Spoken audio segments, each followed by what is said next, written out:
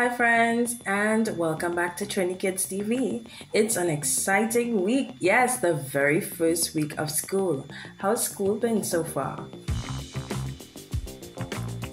Nice. Well, I hope you are enjoying it. Those of you are going to school for the first time, preschool maybe, those of you that might be going to primary school for the first time, or even secondary school, congratulations. And I do hope you enjoy your first week of school, that you're being open and making new friends and learning a lot about your new environment.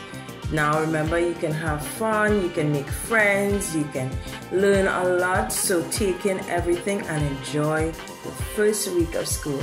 All right?